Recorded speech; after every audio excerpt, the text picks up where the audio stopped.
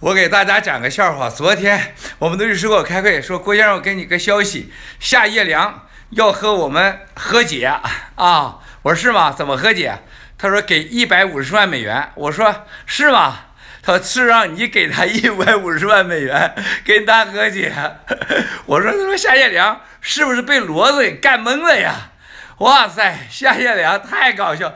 就这样的孙子，骡子的后代，还给中国民主民运的脑袋进了驴屎了，骡子屎了。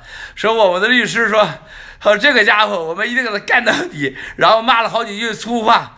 我说是的，必须干到底。我说你要用同样的语言。告诉他，给他弄回去。